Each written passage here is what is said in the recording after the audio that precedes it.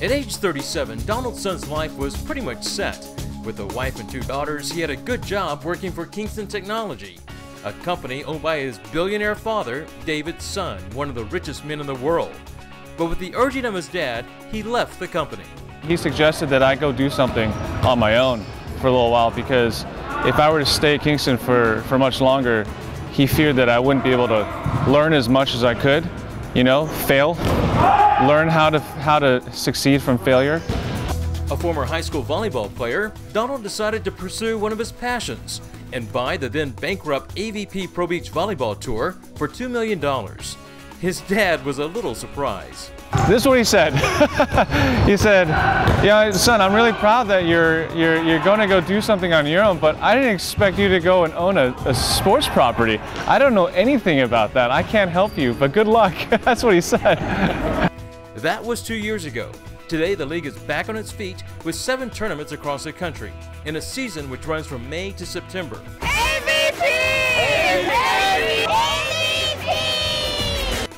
The league features many Olympic gold medalists, including Bay Area native Kerri Walsh Jennings.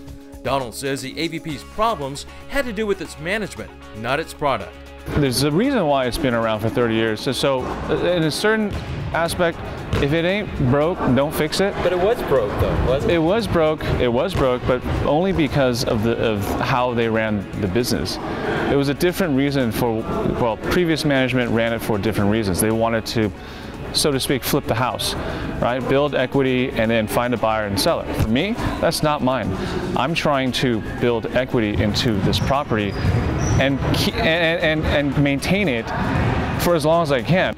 Donald may be the only Asian American to own a sports league in the country, but he didn't set out to break any stereotypes. To be honest with you, there have been so many other aspects of, of the business that I've had to deal with. I haven't really thought about that, but if I can be somebody's role model when they look up and say, oh wow, this guy actually, you know, he's a successful business owner, he's Asian American, he's he owns a sports property.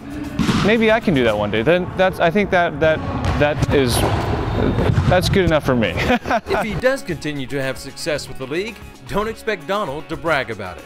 When I was younger, I don't remember the exact scenario, but I, I went home and I bragged to my dad about something. And, he, and I thought, wow, he was going to be proud of me.